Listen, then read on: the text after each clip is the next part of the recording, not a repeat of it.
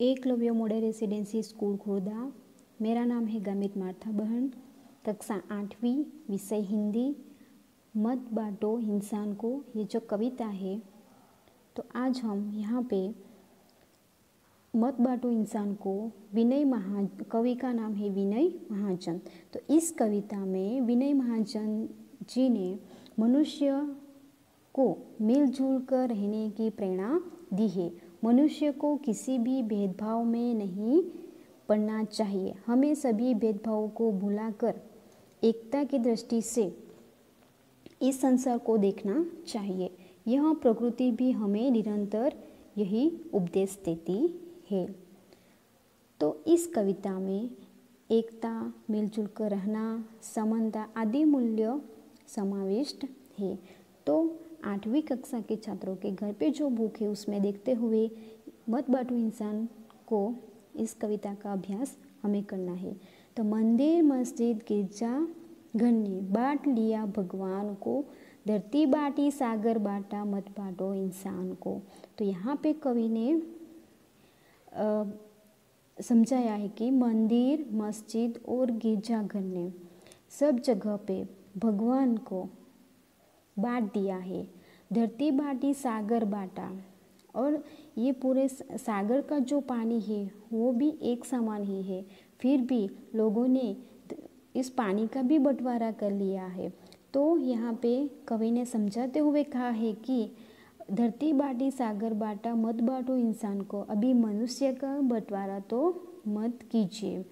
तो मंदिर, मस्जिद और गिरजाघर में सभी जगह पे भगवान को बंटवारा कर लिया है। धरती को भी बांट ली है और सागर है। सागर का पानी भी सबके लिए एक समान है तो उसका भी बंटवारा हो गया है।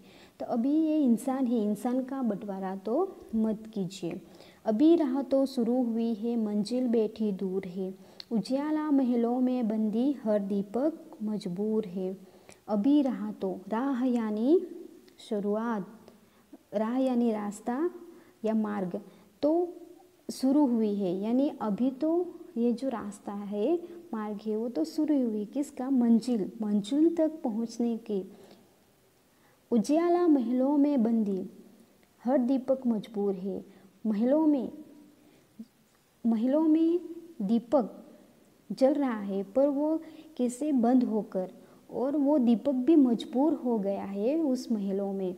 उजाला तो है, पर उस महलों में बंद होकर जो दीपक दिया है, वो भी मजबूर हो गया है। मिलाना सूरज का संदेशा, हर घाटी मैदान को, धरती बाटी, सागर बाटा, मत बाटो इंसान को। मिला का सूरज ना संदेशा। सूरज का जो संदेशा है, वो मनुष्य तक मिलना चाहिए। हर घाटी मैदान को, घाटी है मैदान को। धरती बाटी, सागर बाटा। यहाँ पे भी धरती को भी बांट लिया है और सागर को भी बंटवारा हो गया है। पर मत बांटो, इंसान को मनुष्य है, मनुष्य के बंटवारे तो मत किया करो। अब भी हरी भरी धरती है, ऊपर नील वितान है। पर ना प्यार हो तो जग सोना, जलता रेगिस्तान है। हरी भरी धरती धरती पे अभी हरी भरी है।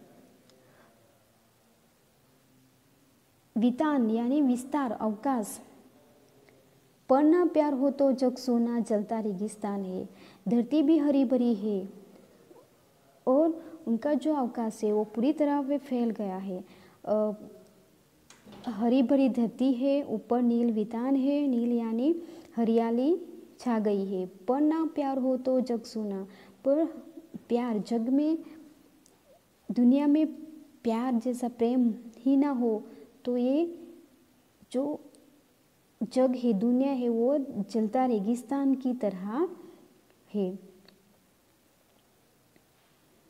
अभी प्यार का जल देना है, हर प्यासे चट्टान को।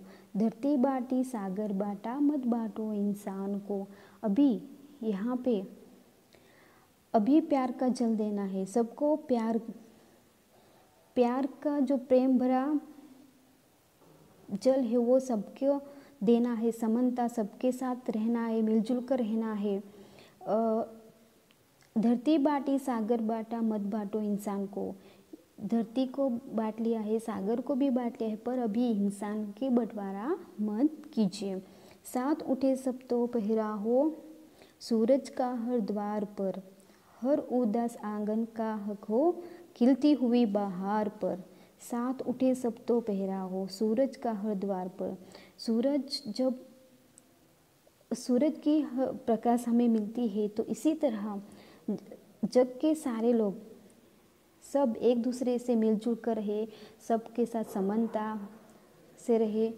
तो ये जो उदासी का आँगन है, वो उदासी हट जाएगी और सबके, सब एक दूसरे के साथ मिलजुल कर रहेंगे और खुशियाँ ही खुशियाँ होगी।